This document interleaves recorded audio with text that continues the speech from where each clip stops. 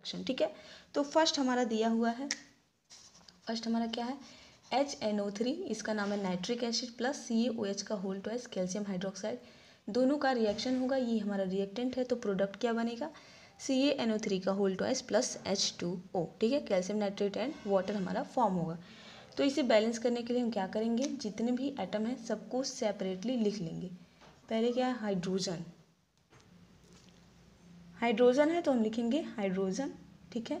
फिर हमारे पास क्या है? एनओ थ्री देखिए, इधर भी एनओ थ्री है, इधर भी एनओ थ्री है तो एनओ थ्री को हम एक साथ लिखेंगे। तो यहाँ पे हम क्या लिखेंगे? N O three all right उसके बाद हमारे पास क्या है? कैल्शियम तो हमने लिखा कैल्शियम सी ए फिर इसमें क्या है? ऑक्सीजन है हाइड्रोजन ओ एच यहाँ पर दिख रहा है आपको, इस साइड में कोई ओ OH दिख रहा है? नहीं हाइड्रोजन और ऑक्सीजन दोनों अलग अलग है। ओ OH एक साथ नहीं दिख रहा है तो इस ऑक्सीजन को आप अलग लिखेंगे। और हाइड्रोजन को भी अलग लिखेंगे, ठीक है? तो यहाँ पे क्या है? ऑक्सीजन कितना ऑक्सीजन है? होल ट्वाइस का मतलब ऑक्सीजन कितना है? टू है. एंड ये भी क्या है? हाइड्रोजन यहाँ भी क्या था? हाइड्रोजन ठीक है? तो इन दोनों को हम एक साथ लिख लेंगे। अब बताइए हाइड्रोजन कितना है? यहाँ पे है वन प्लस बीच में प्लस है तो प्लस लगाएँगे। यहाँ पे कितना हाइड्रोजन है? इसके टू है, क्योंकि यहाँ पे होल ट्वाइस है। तो यहाँ पे क्या हो जाएगा? टू टोटल हाइड्रोजन हमारा कितना हो जाएगा? थ्री हो जाएगा. ऑल राइट एनओ थ्री यहाँ पे कितना है? टोटल एनओ थ्री वन है। सी ए कितना है? वो भी आपका वन है। एंड ऑक्सीजन यहाँ पे कितना है? दो है, ठीक है? होल ट्वाइस है तो ऑक्सीजन कितना है? दो है। All right right. अब इधर भी आप लिख लेंगे H N O three same ऐसे ही लिखेंगे जैसे इस साइड लिखें। फिर क्या सी ए एंड हमारे पास क्या है? ऑक्सीजन ऑल राइट अब आप क्या करेंगे?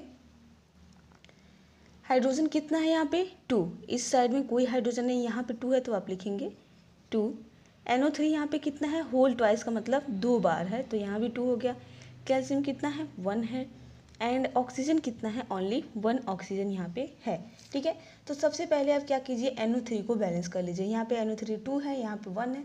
तो अगर इसके आगे आप लगा दें टू तो एनओ थ्री भी टू हो जाएगा हाइड्रोजन भी टू हो जाएगा, यहाँ भी टू से मल्टीप्लाई हो जाएगा।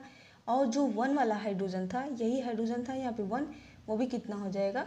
टू हो जाएगा। तो यहाँ पे आपका क्या हो गया? वन का टू से मल्टीप्लाई टू और यहाँ पे टू टू क्या हो गया? फोर हो गया, ठीक है? अब देखिए एनओ थ्री इस साइड में टू है, इस साइड में टू है तो ये हमारा क्या हो गया? बैलेंस हो गया, ठीक? अब देखिए कैल्शियम वन है कैल्शियम वन है बैलेंस है। किसको बैलेंस करना है आपको? हाइड्रोजन एंड ऑक्सीजन ठीक है? इधर भी हाइड्रोजन ऑक्सीजन को बैलेंस करना है।